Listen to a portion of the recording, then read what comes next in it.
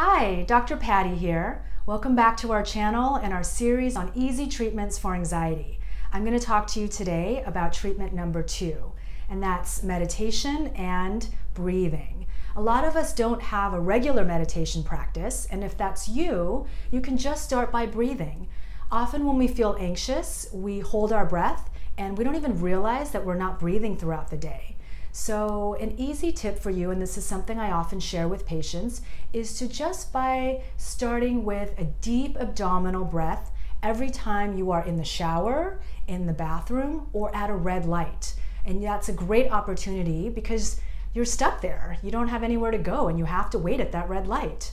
So, anytime you feel stressed, take a moment, take a deep abdominal breath, and breathe throughout the day, and you'll feel so much better. Have a wonderful day, be anxiety free, and stay tuned for our next video on treatment number three.